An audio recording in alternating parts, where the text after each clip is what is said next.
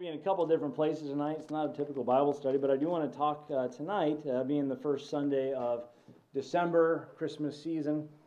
Um, I want to address a couple issues regarding Christmas, and uh, it's been a, uh, sometimes uh, in the past I've, I've done this message um, uh, around this time of year because I don't know about you, but inevitably I'll run into somebody that says all Christians should not celebrate Christmas, and um, and they'll give a lot of different reasons, and I want to I want to unpack a couple of those uh, arguments, um, and uh, and hopefully it'll give you uh, a couple of things. One, some ammunition, uh, but also on the other side, some some confidence that you know this is okay. It's a enjoyable tradi- uh, tradition that we can have as our, in our families and and the memories that are made and those kinds of things, uh, without feeling even a guilty conscience or that questionableness, like is this okay? Um, and, uh, and so we'll uh, look into this a little bit um, uh, this evening.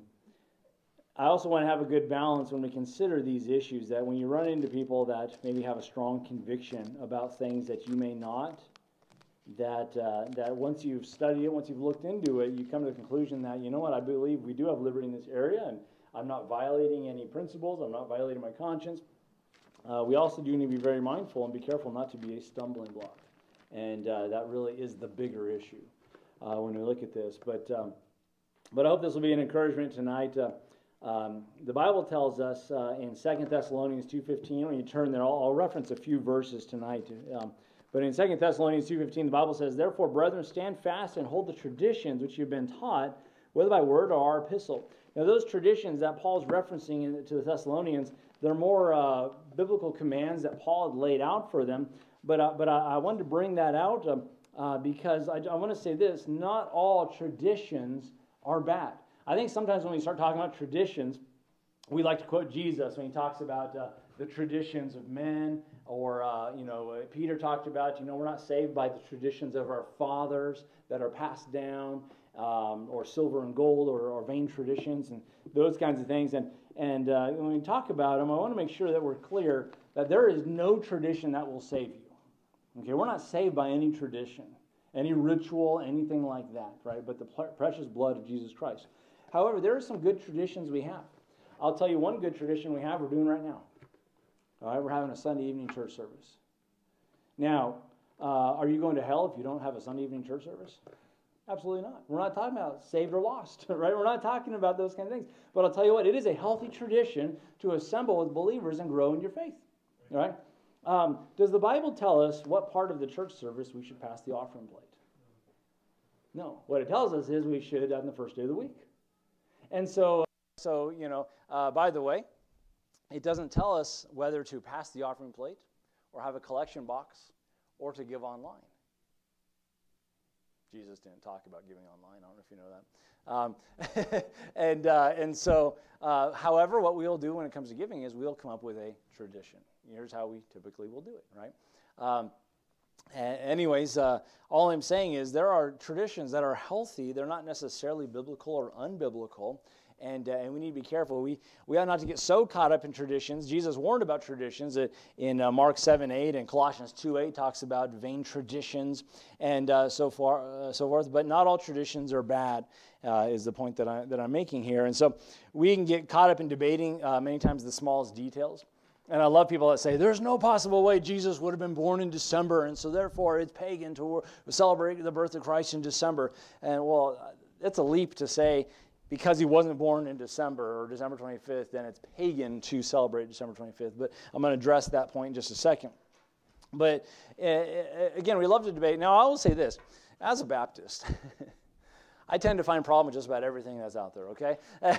because, you know, I, I want to know what's behind this and what, what, what is there. And there are some things that might, might cause con- some concern and raise some, some, some red flags. And, and I would say study them out, follow where that leads, okay? We did a, a message on, on Halloween, and, and, uh, and a lot of the, the occult and uh, even demonic practices that take place on, on that wicked day. And, and we, we ought to dive into that and see what that's all about. Um, it is amazing that, uh, that well, I'm not going to go down that one again and rehash that. But, uh, but, but we want to be careful that we get, don't get so caught up in maybe the little details of things. You know, First, Peter, uh, 1 Timothy 1 4 talks about um, basically debating about endless genealogies and, and things that only, uh, only bring about strife and contention. And uh, we can get so caught up in that, right? Uh, debating about you know whether or not Adam and Eve had a belly button. Okay, at the end of the day, who cares? Okay, uh, there are some things that are very important that we ought to be very strong on. You know, I'm not going to budge on on the on the, the gospel message and uh, and and Christ being the propitiation and the only way of salvation and those kinds of things. I'm not going to budge on that. But you know, there are other things that that, quite frankly, I've even shared with you some things that that you know what. Uh, the Bible doesn't speak clearly to this, but based on this and this, I've come to this conclusion. I'll share that with you, right? And I'll explain that the Bible's not dogmatic on this, so I can't be, but here's why I believe such and such, right? And uh, so we got to be careful. We got to be, uh, in a sense, flexible. And, um, and, and again, not every practice that we do, and I want to be careful how I say this, isn't necessarily like biblical or unbiblical. Does that make sense? Um, there are traditions that I enjoy doing. Uh, for example, you know, we were for a while, we were overdue for one, I think, but uh, Brother Mara, we were having, you know, inspiration nights, right? That's a blessing. That's an enjoyable event that we can have. And is it biblical? Is it unbiblical? No.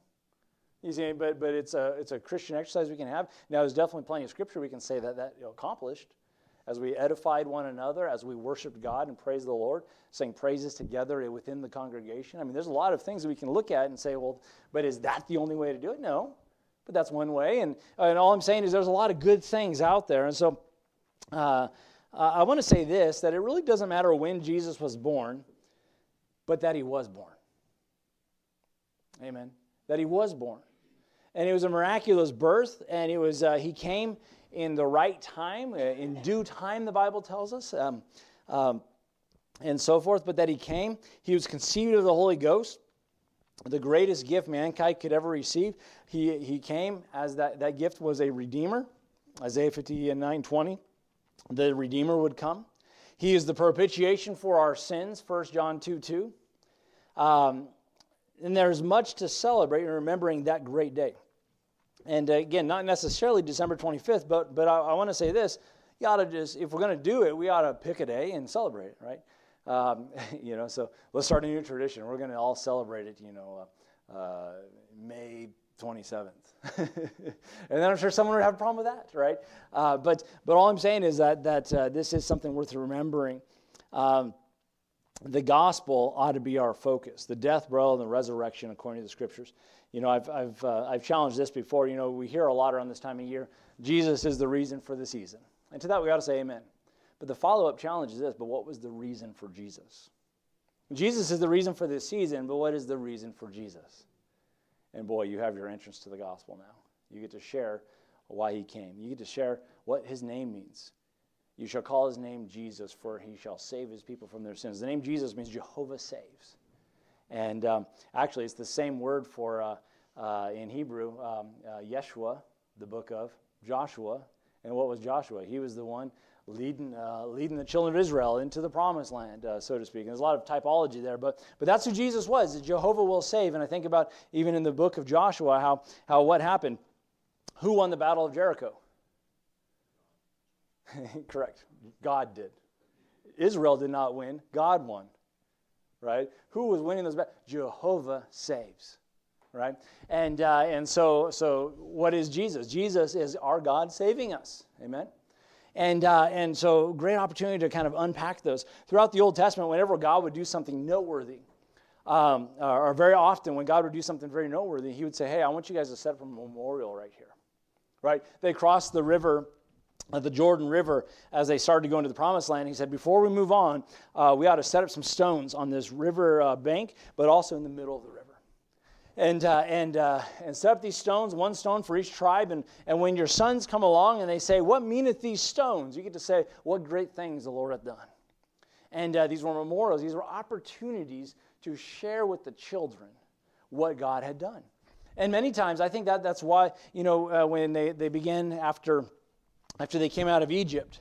And God started instituting some things. And he said, he said Remember when you were in Egypt and uh, that last plague and that angel of death would come through uh, the whole nation. But everyone who had the blood on the doorpost, that angel of death would pass over them. And he said, So from now on, as a, as, a, as a memorial, I want you guys to celebrate the feast of the Passover. And in the same manner, that, that lamb that, that blood was shed, I want you to eat a lamb. And I want you to have all the, uh, you know, the symbolism of this angel of death passing over, pro, uh, projecting or, or, or foreshadowing, if you would, the Messiah that would come and all that would put their faith in that blood would pass the de- death angel if you would or the judgment of god would pass over you and so what they were doing what were they doing they were doing a memorial today we even have some memorials right we i think about uh, um, I think about when somebody gets saved. One of the very first things they do is a public display of what God has done is a visual memorial for everybody who's there and says, I have identified myself with the death, burial, and resurrection of Christ through salvation. So what do they do? They're plunged in the, in the water, right? We as a church will practice um, the Lord's table. What is that? That is a memorial. It's twofold. Remembering his death and remembering that he comes again, right? uh, this you'll do in this you'll show the lord's death until he comes right so it's twofold it's, it's looking back but we're also looking forward and so over and over again we have these memorials and uh, that God would set up. And, and I think Christmas is no different. Around this time of year, a good Christian family should be focusing, remember what God did. And even as we sang, Oh, come, oh, come, Emmanuel, God with us, and ransom captive Israel. Uh, the years of prophecies and waiting and waiting. And then 400 years of what we call the silent years, the intertestament time period when there was no prophecy and there was nothing going on. And they're just waiting from Malachi to Matthew. Then suddenly, um, after 400 years and four different captivities, uh, God shows up. And he gives a virgin girl Messiah through her womb. And boy, you know, at that time of year, we talk about Mary and her perspective. We may talk about Joseph and his perspective. But just, man, put, your, put your, your, your place, yourself in Mary's shoes, so to speak, her sandals. And, and think, you know, this angel just showing up. Surprise, Mary. I know you've, you've kept yourself and you've been pure and you've been waiting and now you're pregnant.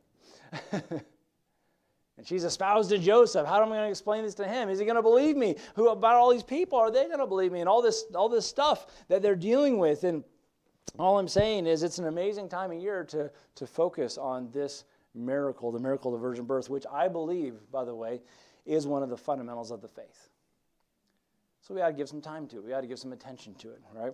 Around the time of the resurrection, we give extra attention to the miracle of the resurrection, which is a fundamental of the faith. Could you be saved without believing the resurrection of Jesus Christ? I contend no. That is part of the gospel message, right? And so we bring that up, especially certain times a year. We ought to bring it up many times throughout the year. By the way, around this time of year is not the only time I reference the virgin birth. There are times a year where we dive into some doctrine and, and we get into the doctrine of uh, salvation and, and, and discuss the virgin birth and necessity of them. But in regards to observing holy days, where we get the word holiday, um, and, uh, and, in regards to eating certain foods and so forth, Paul addresses these areas of liberty that we have. In, in Romans 14, I've mentioned this uh, many times. But it says, Romans 14, verse 5 and 6 One man esteemeth one day above another, another esteemeth every day alike. Let every man be fully persuaded in his own mind. He that regardeth the day regardeth it unto the Lord. He that regardeth uh, not the day, to the Lord doth he regard it. He that eateth, eateth to the Lord. He that giveth thanks, excuse me, for he giveth thanks. And he that eateth not to the Lord, he eateth not and giveth thanks. I've been through some seasons where I eat not and give thanks. Those are a little bit harder seasons than the seasons I eat and give thanks. Uh, but the point he's making there is this that there are those that are abstaining maybe from meats, and, uh, but he's doing it to the Lord. And in his conscience, in his, in his heart, heart of hearts, he's honoring God through this thing. Let him do that. And because it's between him and God, and, and this other guy, same, same thing. Some guys are esteeming some days. By the way, there are some Christians out there, some believers that really get into some of these uh, Jewish traditional um, uh, feasts and, and holy days. And, uh, and, and my only caution would be make sure you're not, you're not tying that to your righteousness. But when you look at those things, they all point to Jesus Christ. And some of those can be actually some enjoyable things. We, uh, a few of you in here, um, we've had uh, a, a, Jewish Baptist preacher uh, uh come in and, and walk us through a Passover meal and talk about all the pictures and the types and that. That is very enjoyable. I don't do it because I have to do it or been commanded to do it, but it sure was enjoyable and, and it really connected a lot, tied a lot of things together. I thought this is really uh, helpful and it made me really appreciate the Lord and, and even. Um, various aspects of, of the, the pictures and typology. And so, so what I'm saying is uh, there are certain things that people may really have strong opinions on, and we need to allow each other some liberty. And, uh, and it goes on in Romans 14 about about not being a stumbling block. And especially when you talk about the meats, like I, I, cannot violate my conscience and eat certain meats, right? Maybe, I've, maybe I grew up in a very rigid Jewish home and got saved later on. And I realized, wait a minute, I can eat whatever I want. Some get real excited about that. Others, every time I go and try to have pork chops, I'm just, I'm just convicted, right? Now, is it a sin to eat pork chops? Not at all. But in his conscience, he just can't get past that at this point. So you don't go and chide him and say, "Oh, you just you you're you're a legalist or you're under the law. Christ has saved you from all that." You know, you don't beat him up over it. You allow him that liberty. You say, "You know what? When we have you over for dinner, we're not having that. We're gonna we're gonna have some tri-tip, okay?" And uh, by the way, a lot of Jews like to have the tri-tip with the Passover meal. That's one of the things they go to. Uh, um, uh, not, uh, not tri-tip. that's the other. Um, I can't remember. Um, the other fun steak, but tri-tip too. That's really good. But anyways, um, I remember we had uh, we had this uh, preacher uh, in our church from um, uh, from India, and uh, and he said, you know, he's saved and everything, and he said, you know, in India they don't eat steak. Uh, they believe cows, you know, are their, their reincarnation of, of their ancestors and whatnot. And they actually, to the point of worship, the cows. And uh, so the cows run free in the streets and all that kind of stuff. And he, he came and he was talking to us and he says, You know what? He says, One of the great parts of being a Christian, he says, is steak. he said, I love steak. He's like, I can eat steak all day. And he's so excited about steak. And he loved, he loves spicy food. We took him to this Mexican restaurant. He just, he loved food. Every time he comes to the States, he just kind of swells up and then goes back home and shrinks it, and you know, sweats it off. But, uh, um, but he talked about how much he loved steak and liberty he had in Christ. But, uh, but anyways, I'm getting off track. But, you know, when we look at all this, I would like to point out just a couple of things when we talk about Christmas traditions. And uh, so I want to address this. Um, and the uh, first thing I want to address, one of the objections about uh, celebrating Christmas is, um, well, Jesus could not possibly have been born on December 25th, okay? And there are people um, who do not, uh, um, or there are people to whom the, the celebration of Christmas or not celebrating really is a big deal. They make a huge deal about it. And, um, and I don't believe this is an issue we ought to break fellowship over. It's not a fundamental of the faith, okay? And if you have a friend that uh, says, "Well, I don't do I don't do any decorations and I don't celebrate Christmas," uh, that's fine. Don't break fellowship over that. Okay. Is this uh, not working, Jaden? Is this is this working okay? Okay. All right. Felt like you got quiet when I walked away. Um, but I, I, do think it's also not an issue that we have to be confused about or ignorant about. I think a careful study of comparing Scripture with Scripture, we could arrive to a conclusion, not necessarily based on someone's opinion, but based on the Word of God uh, about the matter. And so, the common teaching, uh, a couple things I want to bring up about uh, some common teachings uh, in regards to, um, to, to objection of celebrating Christmas. Um, uh, the common teaching is that we really can't have any, we have no idea about when Jesus was born, or uh, sometimes there's, um, uh, there's other teachings that, you know, eh, or that, that would bring to the conclusion of we shouldn't celebrate on that day because we have no idea when Jesus was born. Um, some people uh, um, promote that the belief, uh, some people that promote that or say, say that you shouldn't celebrate Christmas say that December 25th was just adopted from a pagan holiday. And um, uh, with a veneer of Christianity as a covering, so to speak, and and um, and the teaching has this, you know, it has some basis in historical fact. In fact, uh, uh, if you if you look at a lot of, especially Catholic traditions, a lot of them were rooted in pagan practice. Um, and uh, but I want to say this as we consider celebrating Christmas, we have to ask ourselves, what is it that we as believers are celebrating? Are we actually diving into the Druid uh, or uh, tradition or practice that did celebrate something on December 25th or around winter solstice? Are we actually uh, uh, engaging in something that was near that. You know, for example, I, uh, my birthday, just so you all know this, is uh, March 17th. Anybody know what day March 17th is? St. Patrick's Day, right? Now listen, on St. Patrick's Day, there is a lot of drunkenness that goes on. So in reality, I should not celebrate my birthday. Because after all, that'd be adopting this alcoholic holiday. So how dare I celebrate my birthday on December 7th, or on December 25th, uh, on, on March 17th? You see what I'm saying? There are multiple things that can land on the same day. And uh, if, we, if we kind of canceled things out based on that, you know, um, uh, you know, here's one. What if your birthday was on uh, April 20th? That's Adolf Hitler's birthday. I'm not going to celebrate. My wife actually had Tess induced because her due date was April 1st. And knowing who her father was, he was not, she was not going to put her through that, so she had her induced on December, uh, or sorry, March uh, 31st. And so I'm always telling Tess now, it's like, your real birthday is April 1st. And, uh, but anyways, um, but, but, but I, I want to just get into this real quick. So the common teaching, uh, again, may have some bias in historical fact, but, uh, you know, there, there, are a lot of things um, in regards to, I'm not going to get into the whole thing, but Emperor Constantine, when basically the birth of the Catholic Church, he kind of married paganism with Christianity. And there were a lot of things that kind of blended and blurred the lines a little bit. Um, and so I'll kind of get back to the, the date in just a second. Uh, but here's one that, that's, uh, that's always brought up as an objection Christmas trees and decorations are forbidden by Scripture. Christmas trees and decorations. And can you believe it? Some churches put up Christmas trees in their sanctuary. Can you believe it? That's forbidden. It's clearly forbidden in Scripture. And let me show you the verse. Share, share with you the verse. Jeremiah 10, verse number 3. For the customs of the people are vain. One cutteth a tree out of the forest, the work of his hands of the workman with an axe, and deck it with silver and gold. They fasten it with nails and with hammers that it move not. That sounds like a Christmas tree. Hmm.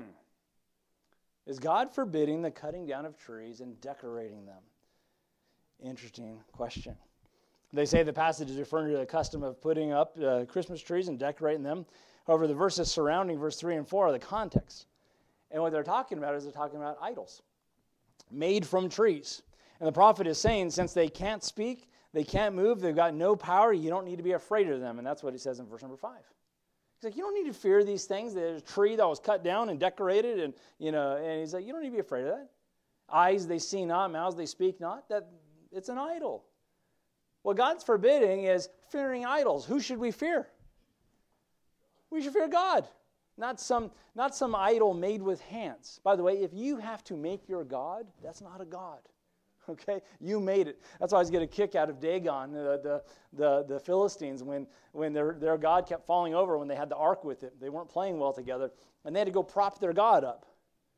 I'm sorry. If you have to prop up your God, I'll tell you what, I need God to prop me up. If I have to prop God up, that's no God, okay? And that's what Jeremiah is saying. He's like, you guys, you're falling after these things. Remember, Jeremiah, the weeping prophet, he was warning Israel for their idolatry. And that's what he's pointing out. He's not saying don't have a Christmas tree as a decoration. All right, we've got these little shrubs here, and uh, I think it's a beautiful decoration. When you come forward, when you guys came forward this morning and knelt down at the altar, were you bowing down to these trees? Are we worshiping these trees? Maybe. Are we, I found out who the person has a problem with December 25th is. These decorations, what are they doing? They're accents, folks. It's winter time and we like to enjoy. By the way, isn't it awesome we live in a place that grows Christmas trees outside? Like you drive around and they're already decorated. They got beautiful snow on them when the sun hits it just right. The colors in the wintertime, it's like the pastel. I tell you, I love being here. I know it's cold and it's miserable, but but boy, it's beautiful. It's beautiful, isn't it? Isn't it beautiful? And you can't deny it, okay? Um, um, and so here's one of the, the, the, objections. All right, December 25th was celebrated as a, as a Mithraic feast day. Uh, Mithra was a Persian version of the Hindu sun god Mitra. According to the, um, according to the uh, Zoroastrian religion, Uh, Mithra was the god of light, and his feast was celebrated each year on December 25th at the time when Constantine made Christianity the legal religion of Rome. Uh, worship of uh, Mithra was very widespread throughout the empire, particularly among soldiers in the Roman army. Uh, the Roman Catholic Church took the, uh, the pagan uh, Zoroastrian holiday and renamed it Christ's Mass. First recorded celebration of Christmas in, on December 25th in the Roman Empire took place in AD 336. 23 years after Christianity became the legal religion. Uh, so there's no question there's some elements in the early Christian celebration that maybe had some pagan roots uh, with it, but the association led many Christians uh, to frown on the celebration of Christmas. In fact, in the early days, in the Massachusetts Bay Colony, uh, there was a fine of five shillings that was imposed on anybody that found following the popish uh, tradition of celebrating Christmas. But, uh, but in regards to celebrating Christmas and the timing of Christ's birth, I believe there's much to be gained by studying history and studying Scripture. Uh, an honest conclusion uh, from such a study, I think, will be in contrast to what some people teach when, they, when they're unpacking these things. And so, uh, the first thing I want to look at is this thing of the Christmas tree. Uh, the Christmas tree actually has Christian origins.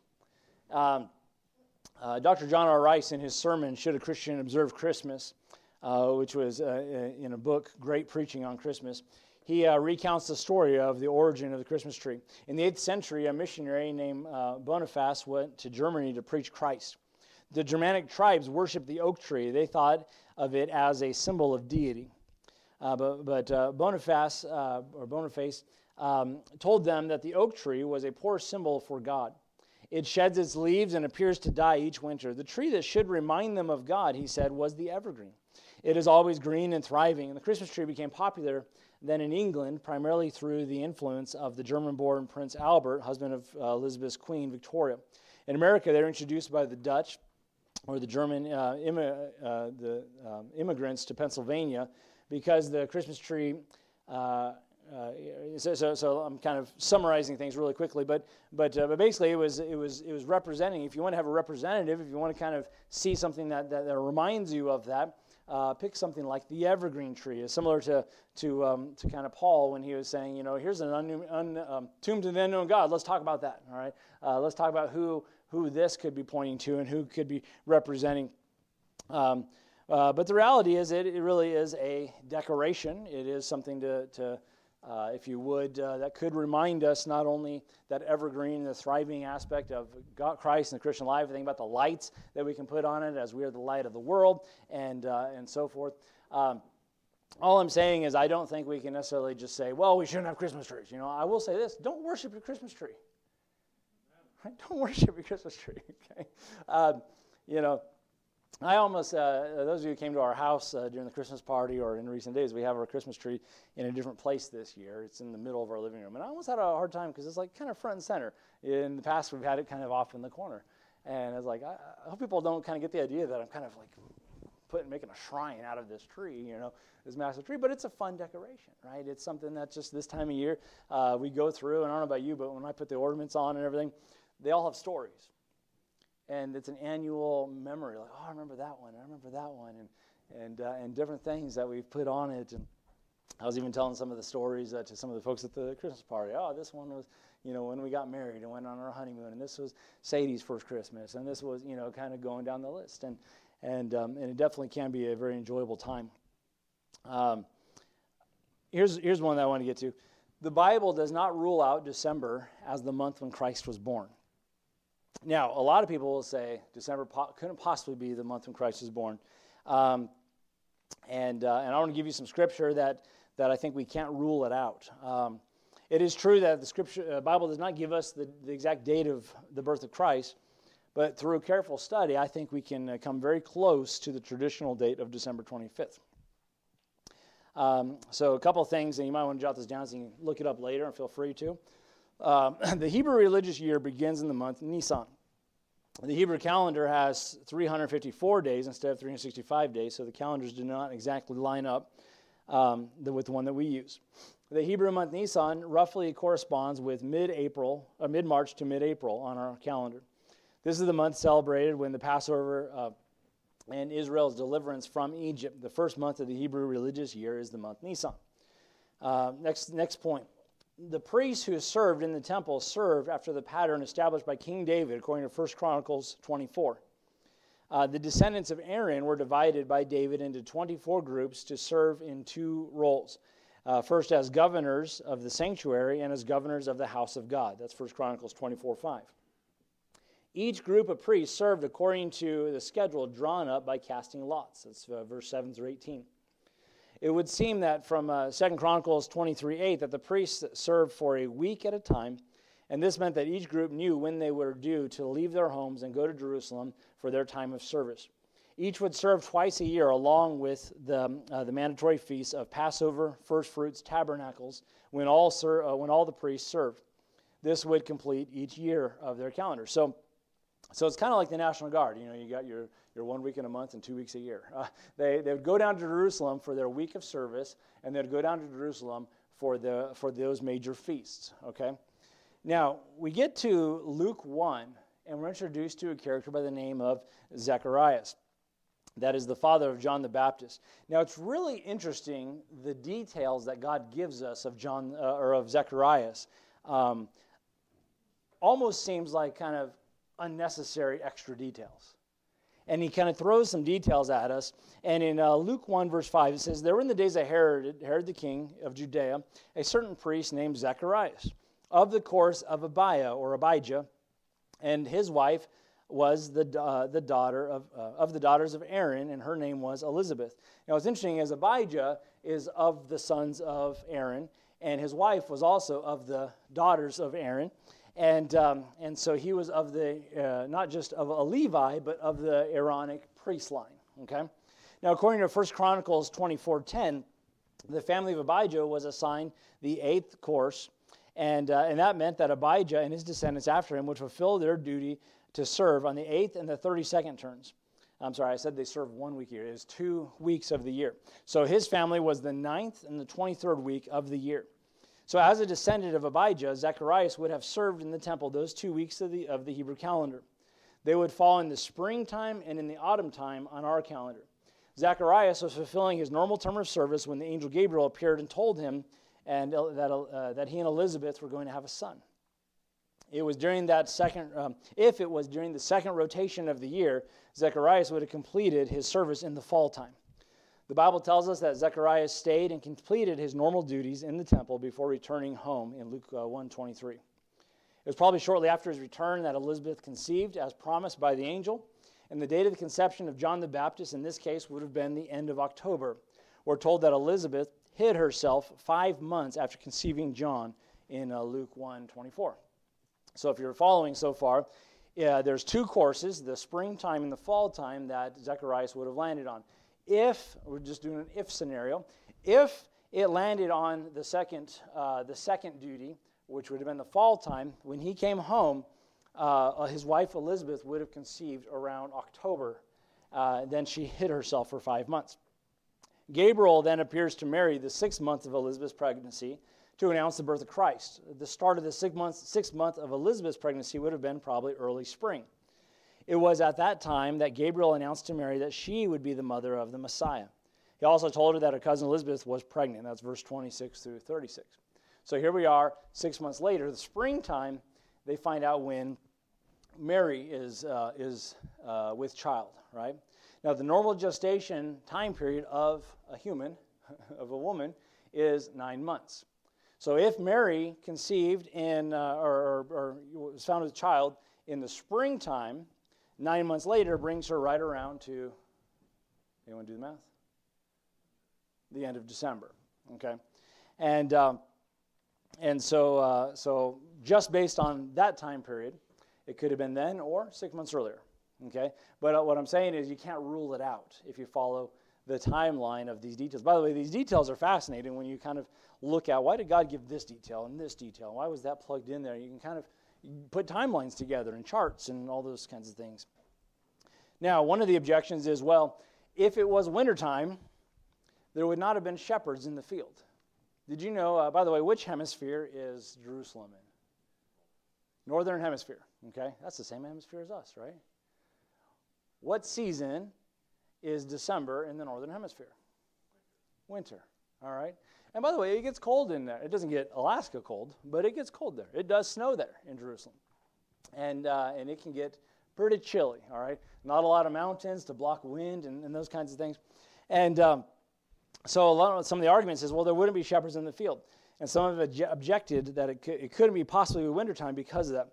However, there was a field between Bethlehem and Jerusalem, which wasn't very far apart, Bethlehem and Jerusalem, which was called, uh, um, um, which was uh, uh, the location of what was called the Tower of the Flock, which was mentioned in, in Micah 4 8.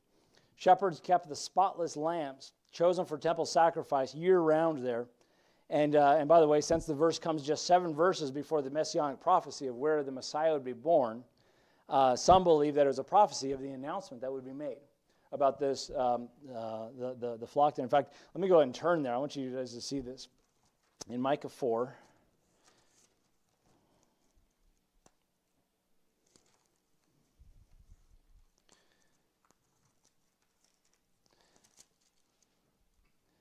know sometimes it's just boring Bible study here. But uh, in Micah 4, look at Micah 4.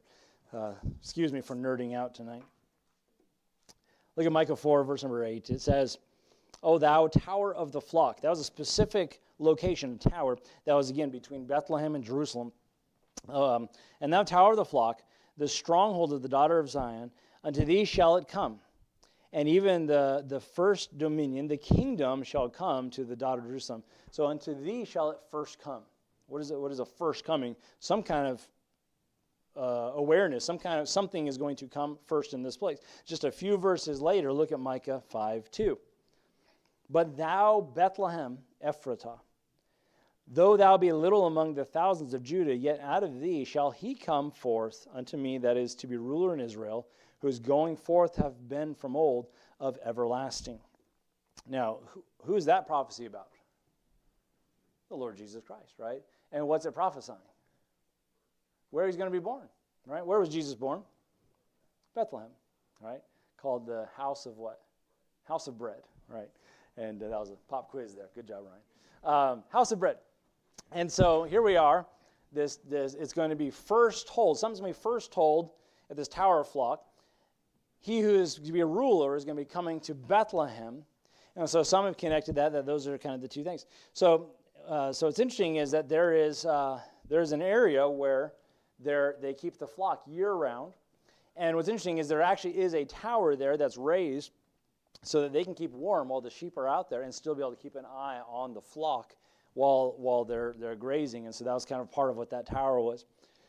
But um, um, I have a whole message on, on just the, the, the shepherds. It's really quite fascinating as God, uh, uh, the angels appear to shepherds of all people, and how shepherds they were not allowed into the temple. And they were not allowed even into the synagogue because they're unclean for being with the sheep all the time, even though they're the ones that would handle the sacrificial lambs. And yet, God brings an angelic announcement to the angels, uh, sorry, to the shepherds. And he tells the shepherds, You'll, uh, This will be a sign unto you. You shall find the babe wrapped in what? Swaddling clothes and lying in a manger. And uh, the swaddling clothes, what was a swaddling clothes? those were the, the rags and, and the, the receiving cloth that they would use with those sacrificial lambs. This made sense. The, the, the picture and the typology all kind of came together.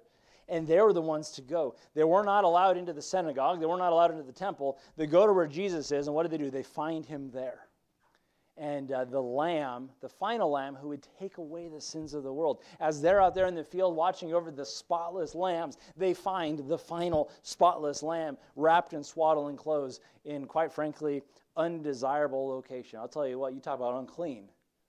He was born in a stable, lying in a manger, a feeding trough. Uh, I tell you what, that's, uh, that's pretty phenomenal. But it's really, when we, when we consider these things, all I want to say is this that we really can't rule out uh, even December 25th, if, if that's going to be our basis. I'm just going to say, if that's going to be our basis for not celebrating Christmas or celebrating Christmas this time of year. Um, so we, we see, you know, the testimony of, of historical accounts. We've seen even scripture um, that, that possibly could be around this time. There's some people who honestly object to celebrating Christian, uh, excuse me, Christmas, but it's not legitimate ba- uh, on the basis that Jesus cannot have been born at that time. Now, certainly there are things associated with Christmas, especially here in America, that ought to be a concern to all of us. Um, uh, covetousness, right? Uh, especially with our children, making sure you know we're talking about presents and and uh, you know as parents, you know we're they're, they're expressions of love. We want to show our love and we want to give them a present. We want to see their faces light up, but we also want to be careful that uh, that it's not all about greed and covetousness. You know, I always enjoy families that they they try to find some sort of tradition that they include in their Christmas tradition where they're going to give to needy or they're going to do something for others. And and uh, uh, uh there's a there's a cute Christmas movie that we started watching uh, where they I can't remember the name of it, but they'll go and uh, what they call it, the elf people, and they'll they'll show up and they'll they'll put a present on someone's door and knock and, and go and hide, and and it's like you know uh, they're doing this to like this poor family, and the kids pick on their kids, and they, they kind of are showing this selfless love of just elfing them and, um, and bringing us to their house. Um, but something where they are learning the lesson that it truly is more blessed to give than to receive. Um, I'll say this: I got in trouble one time for saying this next one. Uh, it, it, with that, with having the children in, the children have been dismissed. But um, but here's one: um, Santa Claus. Uh, I will say this: you know, and by the way, it's not sinful in and of itself to tell, you know, Santa Claus and all this stuff. I've taught my children that Santa Claus is is like Mickey Mouse. I mean, it's just a fictitious character. It's fun, you know, but there's no Santa Claus, right? I said that in church one time, and a mother gasped, "Are my kids in this service?" And I'm like, "Really?" But let me just say this. Let me say, say this. Some of these things, if we're lying to our children, and they grow up, you know, and eventually they're going to figure out, oh, Santa's not real and all that stuff. Um, I remember, I remember we watched the movie The Santa Claus with Tim Allen. And Sadie started coming to me, and she's like, are you sure there's no Santa? Is there, is there a possibility? Like, she loved the idea so much, and uh, she always knew that Santa was fake. But uh, she's being, sorry, Sadie, I didn't realize you were back there. Uh, I was looking first, and I didn't see you back there. I didn't want to embarrass you. I'm sorry. Um, but, uh, but, uh, but let me just say this.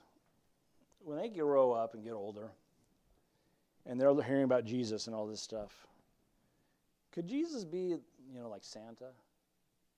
Maybe it's just a make believe thing that sounds nice. See what I'm saying? Or how about this? I'm the one that sacrificed for those presents.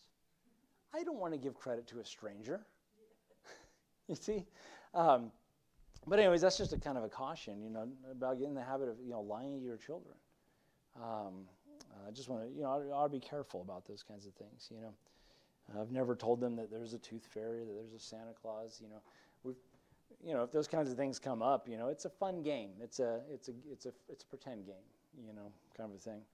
But anyways, that's just uh, me and some some advice there. Um, when we consider some of these things, you know, there are some consequences of, of kind of what's, what's uh, being taught. Understanding the truth of Christ's birth from a careful study of God's Word, rather than just uh, accepting traditions and whatnot, uh, what others say is important. Um, you know, we find uh, when we, we study, we when we study, we actually find the truth about Christmas. Like, what's what really are we studying? What really are we uh, uh, involved in and worshiping and recognizing? Um, but I think, uh, I think really one of the fascinating things when we consider this is, is the Bible always adds up. You know, you approach things and you look at things, uh, there's always going to be, uh, the scriptures are going to give you the answer and figure out. It, some things may take a little more careful study than others and, and putting dates together and timelines and those kinds of things. But at the end of the day, it does add up. It's fascinating that uh, you can take the Bible, um, uh, I can take what the Bible gives me and arrive to logical conclusions even if people haven't been celebrating Christ's birth as December 25th for all these years, we could still have the, you know, the shepherds in the fields and their lambs and the calendar um, calculations of Zechariah and everything. We could actually establish that, you know, it's pretty close to that time period. You know, there are, and again, to, to rule it out just because, well, there's, there's pagan, you know, things, there's all kinds of pagan practices that are around winter solstice, summer solstice. Um, we looked at um, uh, um, well, yeah, I mean, there's just different different times of year and whatnot. And all I'm saying, you know, just because there's a coincidence uh, doesn't necessarily mean we're not celebrating those pagan practices. We are celebrating the one true God taking on flesh, coming into this world to die for our sins. Uh, there's nothing pagan about that. That is, that is the truth. That is the gospel, uh, a major part of the gospel. And so, um, but you know, what's amazing is you could study the Bible for 10 hours a day for the rest of your life and honestly never run out of things to learn. That's what's so awesome about the scriptures. Um, if you find something doesn't seem to add up, it's always your adding, it's not the Bible. uh, it's my problem with math. Um, but um, if you don't see how something in the Bible could be true, don't assume that the Bible's wrong because it isn't. Be patient, be attentive.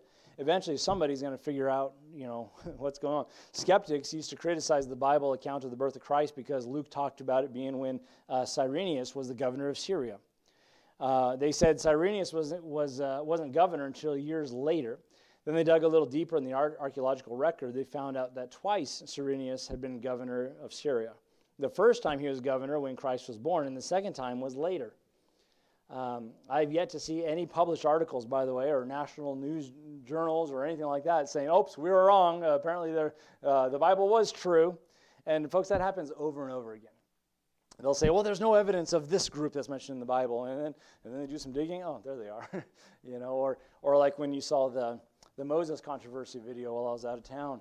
You know, they're saying, well, there's no evidence of Nineveh because it didn't line up with the timeline. There is this catastrophe that happened in, in um, uh, not Nineveh, um, the tower. Uh, Jericho, thank you, Jericho. There's no evidence that Jericho was taken down because the timeline didn't match up. But there is evidence that Jericho uh, had uh, some kind of catastrophe that took place at some point, but it couldn't possibly have been the Exodus because of the timeline. You know, well, maybe your timeline's off, okay?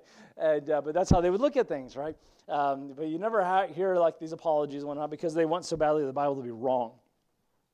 But um, the reality is, the Bible has much more to tell us than what we have learned. And that's one of the points I want to take away. When we kind of look at these things, we love to just draw hardline c- conclusions. And, well, well, this, I'm standing on this. And, well, are you willing to change if the Bible says otherwise? Are you willing to adjust? And, but the reality is, the Bible does have much more to tell us. Have you ever thought this way? You know, I've read the Bible so much, there's really nothing new for me to learn. Anybody have that thought? If you do, that's wrong.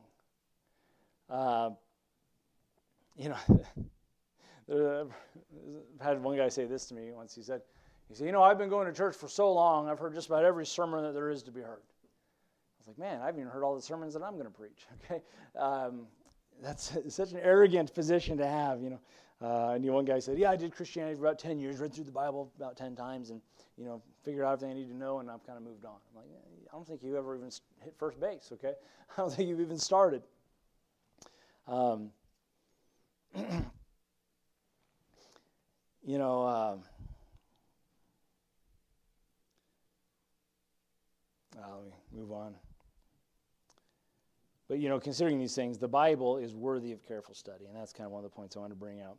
Um, as you as you consider things and look at uh, the scripture, we got to pay attention to details. We got to look at some of those things. And sometimes you go through the genealogies and you're like, "Oh, this is so boring. I'm falling asleep reading this." You know, sometimes you're going to find really tremendous nuggets in those passages and in those things when you kind of line them up. I believe you ought to read your your Bible like a person mining for gold. Uh, by the way, don't read your Bible like a novel. Don't read. Don't speed read your Bible. Uh, but look look like like someone mining for gold. You know uh, every once in a while you're going to find that little you know glimmer like i'm going to start digging around that that part that's sparkling you know what, what is that? Let's let's unpack that. And uh, um, um, let's see. Oh i like what one guy said. I think it was a, it was H. A. Ironside. He was once asked what do you do with all the hard parts of the bible? He said this I do the same thing I do when I'm eating fish. I put the bones on the side of the plate for someone else to choke on, and I eat the rest of the fish. you know, there, there's a lot that messes you up, you know, and people have asked that, you know, what do you do with all those hard parts, you know, and, uh, or I'm stuck on this, you know, there's, a, there's enough of the Bible that I understand that'll keep me busy for quite a while. okay.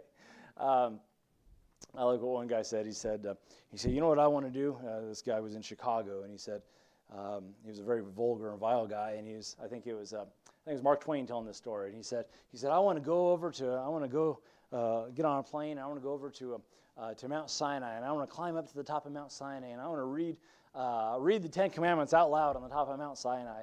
And he said to him, he said, I have a better idea. Why don't you stay in Chicago and keep them?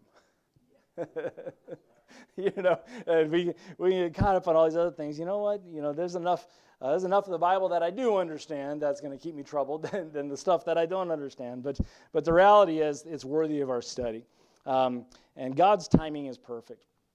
Isn't it interesting that the Lamb of God, who came to take away the sins of the world, would be born at the same time that the lambs are out in the field being born? Paul said that Jesus was born in Galatians 4 4 when the fullness of time was come at the right time, at the, at the moment that God had, had planned. See, God's never done anything accidentally.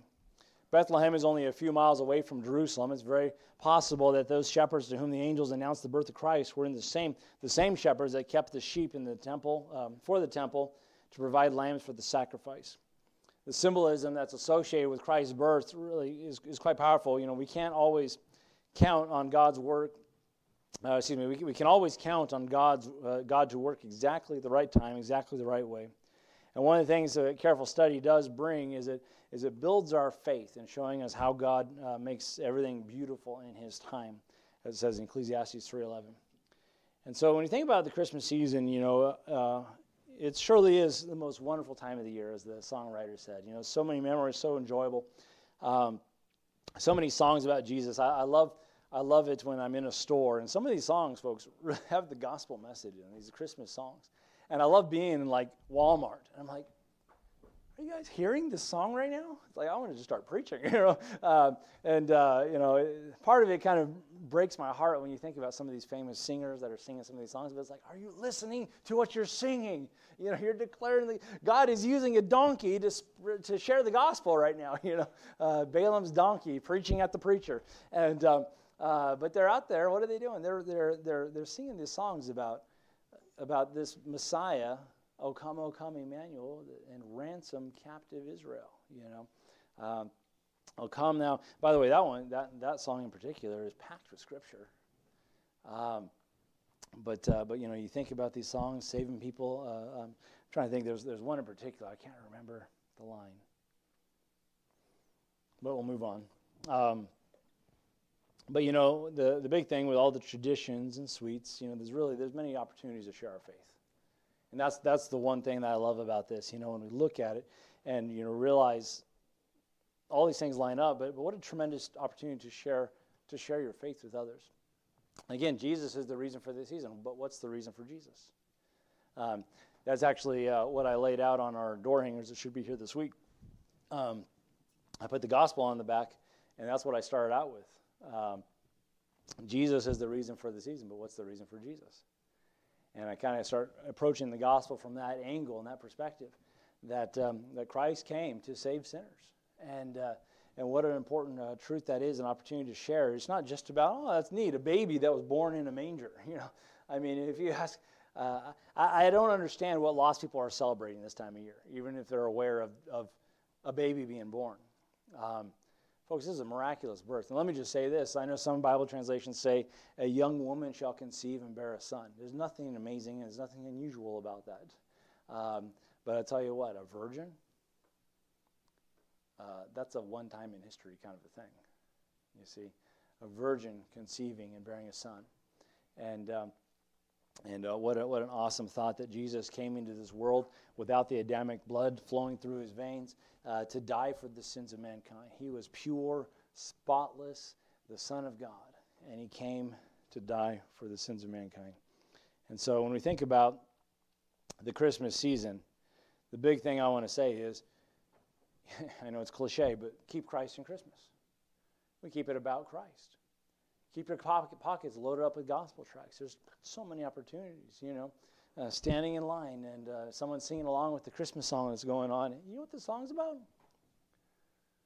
Now, I know there's a lot of songs, you know, Rudolph the Red-Nosed Reindeer. There's no really redeeming gospel message in that song. Uh, but, uh, but, you know, there are some songs you might hear, and what a great opportunity. You know, you're, you're, killing, you're killing time in the Costco line, and, and you're like, you know, you know what this song's about?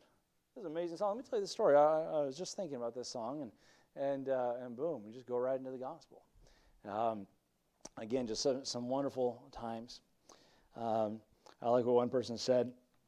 By the way, you ought to look for someone who you can share the Christmas message with. I like what one person said. He said, You cannot take the gospel to the wrong address. And truly, you can't. How many of you have ever uh, shared the gospel with somebody and found out they were already a Christian? It's funny what happens with that, especially if you're just knocking on someone's door. Some Christians get very convicted because they're like, you know, I know I should be doing something like this. Some will get upset. Can you imagine getting upset with somebody trying to share the gospel with you? Hopefully that will come back and cause them to think, why did I get upset about that? You see? And some are like, you know what, this is awesome what you're doing. I, I ought to do something like this. Um, but you can't take the gospel to the wrong address. Who knows? You just might be prompting another Christian to do right. You might be bringing a lost person to the saving knowledge of Jesus Christ. And of course, that is our prayer. That is why we are here. And um, and uh, I do love this time of year. Um, any any questions? I know I didn't go th- like exhaustively through maybe some of the Christmas traditions or anything. And, and by the way, there are some of those traditions. It doesn't have to be spiritual. I'll tell you what, there's nothing spiritual about fudge, but I'm going to eat my fudge, okay? And I'm going to enjoy it. And my diet starts the first of the year, amen? Um, but, uh, but, you know, what an enjoyable time. And uh, again, these songs, opportunity to share the gospel. There are going to be those in our community that are the two times a year churchgoers. And, uh, and we need to be ready. And I want them to know we're here and, uh, and that we love them. And who knows, it just might be that, uh, that they get saved and, uh, and God connects them with the church family and they start growing. And, and that is, again, our desire. And so, wonderful time. Be praying about opportunities um, this, this Christmas season. I only have a word of prayer.